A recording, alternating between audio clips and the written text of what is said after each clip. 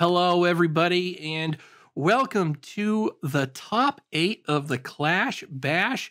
Will, it is Clash o'clock. Are you ready for some exciting uh, action here with uh, a friend Darth Prentiss Greg and uh, going up against OK668? Dude, I'm super excited as always with Clash, and it's a pleasure to work with you. Uh, it is a pleasure to work with you as well. Uh, we've been doing this for a few matches now, having a good time, and we're going to get into the. This is going to be game one of the match. So let's do a little quick rundown of the of the structure here for those who might be tuning in for the first time. Uh, the Clash Bash League uh, is a best two out of three match format where each player is going to bring two decks of their choice into the match. When you win a match, you cannot win another, or when you win a game in the match, you cannot use that hero again. So if you win a game, you set that hero aside and you play with your new hero. The loser of that game can choose whether or not to switch uh, to another deck or keep their same deck, but the first person to win with both their heroes will eventually win the match and move on uh, here. So uh, we're going to see that in the first uh, in the in this, this this is the opening round top eight quarterfinals here, and uh, the deck lists were open for the league, and so. Uh, in the Swiss rounds, you're you don't know what your opponents will have, so they choose beforehand, but you don't know until the flip right? So, but we do know what each player brought to the top eight of the tournament. I myself was a participant in brought uh, Victor and Rhinar uh, as my two heroes. Nice. Here. Um, but we know that Greg will be running Riptide and Kano in this matchup, and OK is going to be running Betsy and Katsu. What do you think of those? I think it's interesting because I feel like both decks from both players operate on different axes. Typically, when you do a tournament like this, you want to bring as many of the same style of deck as possible. So your opponent has to adjust to that game plan at some point, right? If they have a deck that just folds to the specific game plan, it'll fold to both of the heroes.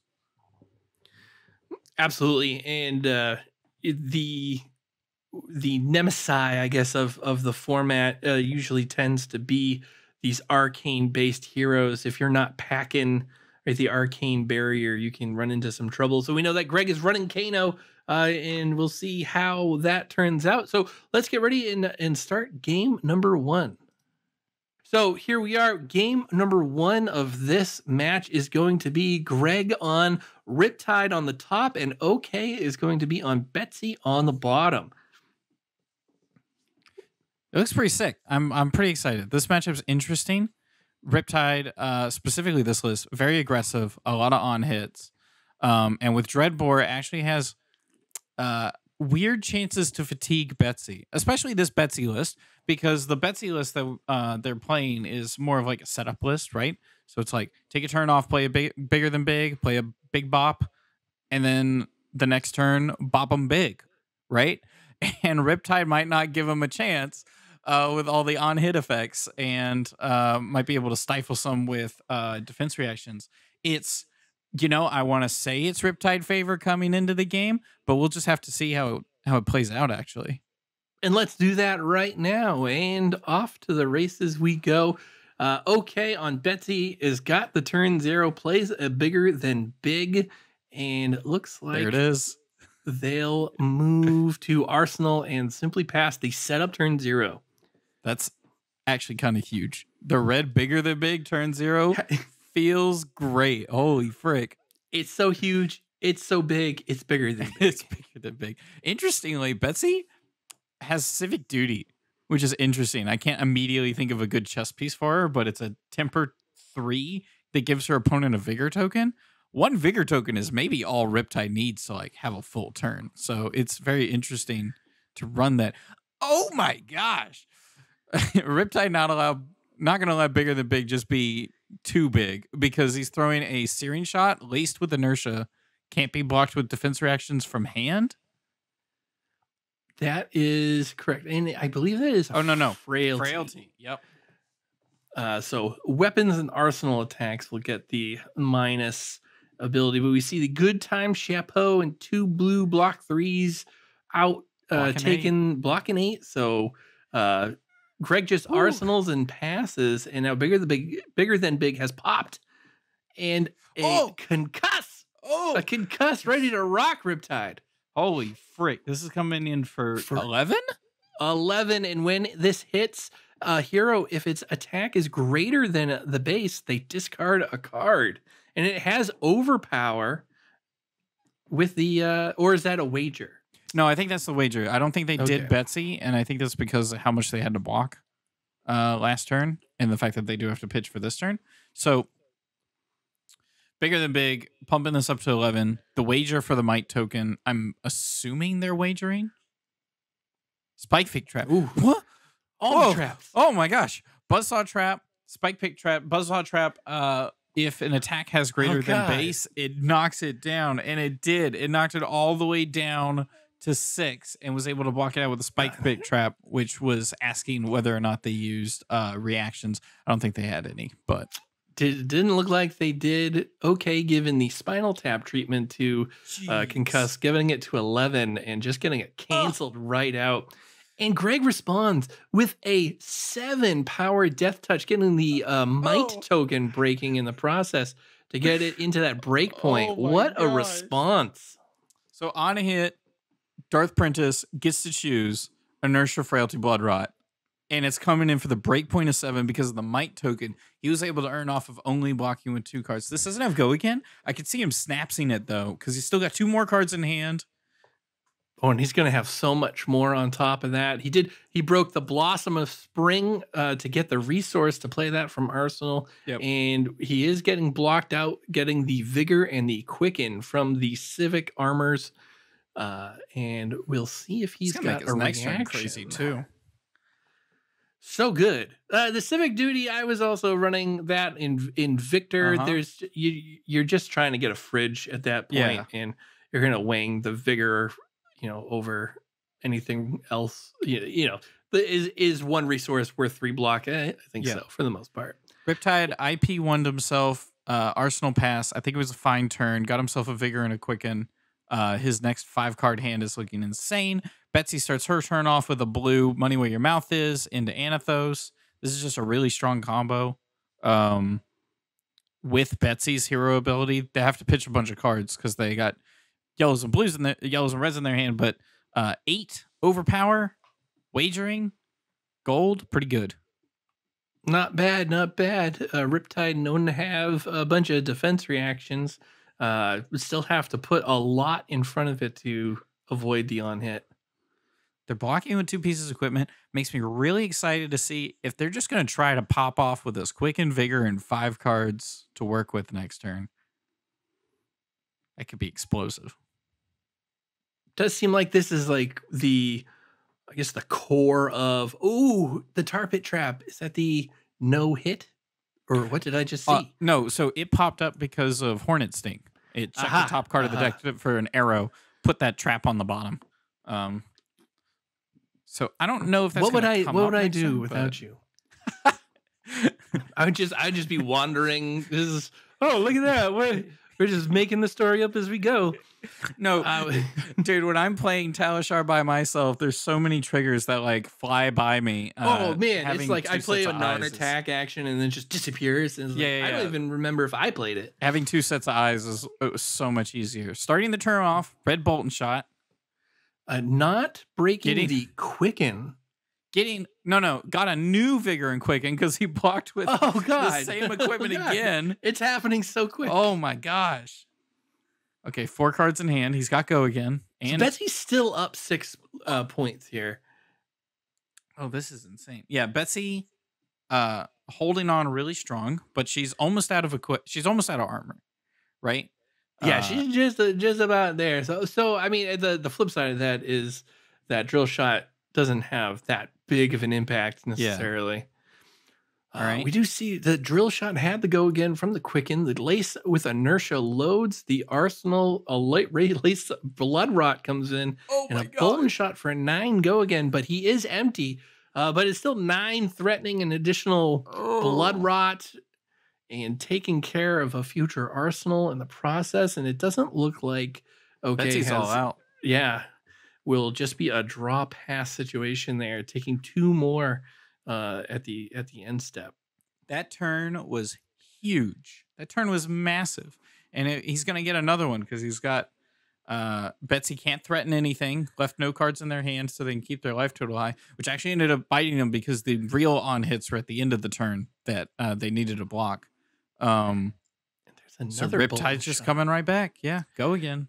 gets the go again, gets the buff, the plus one buff to get the go again. Uh, it will be blocked out clean. There's no reaction.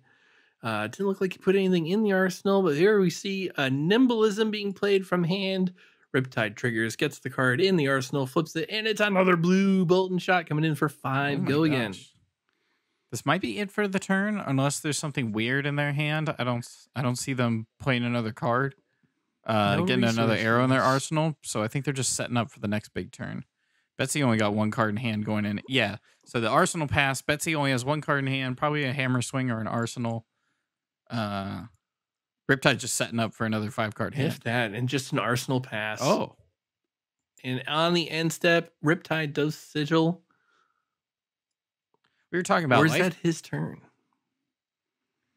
I was, I was, I did, the, I did the thing where I was like, "Look, these th- these life totals are indicative of the game state," and immediately was punished for saying such such nonsense. Uh, here's a sleep dart by Greg, getting the might token buff uh, for six, or is this for, this is Dreadbore, I believe, getting the Yeah. plus one. Um, I think the interesting part sleep dart is for six here. you as Riptide, you don't have a real weapon. You got to be able to push some damage. You have to win. Like you have to force a win, right? It's going to be really Mhm, hard to mhm. fatigue. Even though I brought that up earlier, they're pitching away two red cards to play out the six attack. Uh, the on hit doesn't matter as much. Betsy might actually get a turn off of this. She Yeah. does keep two cards and has a card in arsenal. She's got a gold token. Riptide draws back up, Oh, Goliath goes to five. Goliath Gauntlet breaking, getting the plus two. Ooh, It's it's bet big. It's a Betsy bet specialization. Oh, from Arsenal. Oh, that's so good. And with the When two floating, because they pitch two blues, they can Eleven Betsy. overpower. Looks like they're wagering. You can wager a gold, might, and vigor token with them. Sheesh. Swinging right back in her favor. Just haymakers. This is Rocky Four. This is a bunch of punches and no one understanding how to block. So I think if I'm Riptide in this situation, I want to block out as much But as there's a possible with block. this. Oh, they didn't. Okay. So They they, did did, a block, they- collapsing trap. Yes, collapsing trap. Yep. So I think typically as the aggro deck, you want to um, try to block out whenever the more fatiguey deck uh, swings an attack. You want to block it out because they're they're going to become in a position eventually where they don't have the tempo naturally because of their deck. It could be an all blue hand. It could be they set up an aura. Then you get your tempo back. Then you get to play the aggro game again. Um, but he's like, nah, I'm having my turns right now. so he blocks a, just a defense reaction, and he's already dread boring. And that Dreadbore brings a Bolt'n' Shot, getting the plus one to five, giving it the go again. It gets blocked out clean, so there'll be no uh, reload here, but we will see a scout, the periphery, periphery, and uh, that brings an Oh. intoxicating shot. We see the Riptide specialization arrow. Coming in for seven. Coming in for seven on hit. Their opponent gets a bunch of stuff, and that's kind of interesting. Uh, Mhm.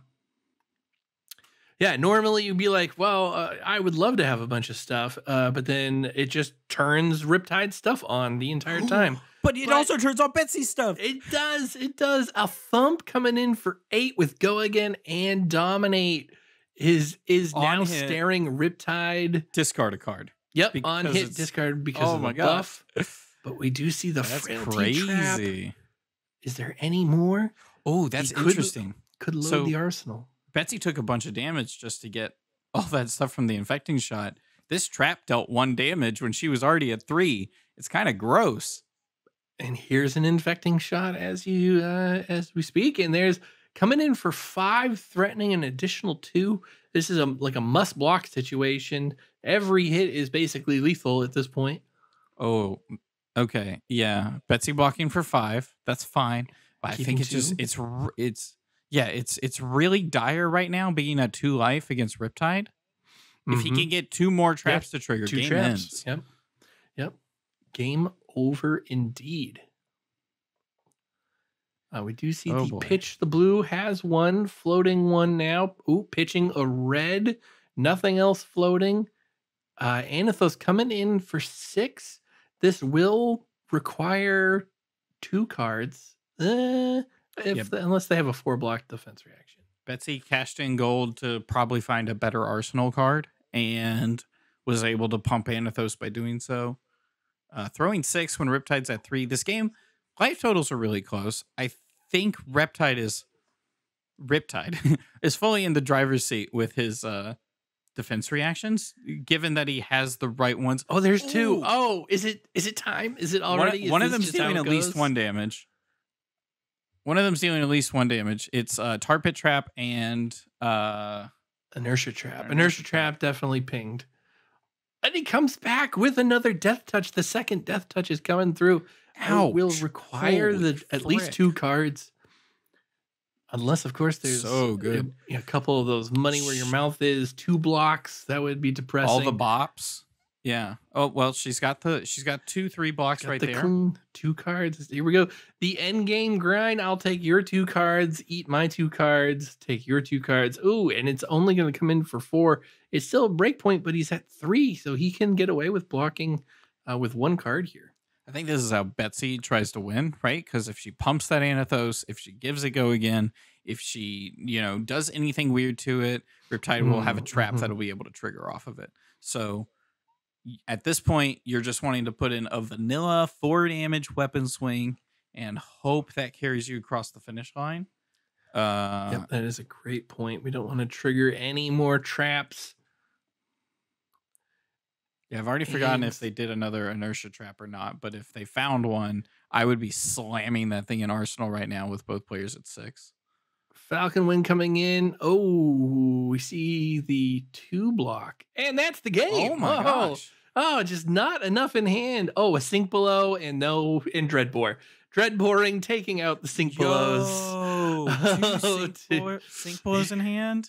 Yes, sir. Oh my goodness. An impactful end to the game with the Falcon Wing coming in, getting the Dreadbore buff, uh, eliminating any possible defense reaction from OK. Greg taking game one of this best of three match uh, here at the Clash Bash quarterfinals.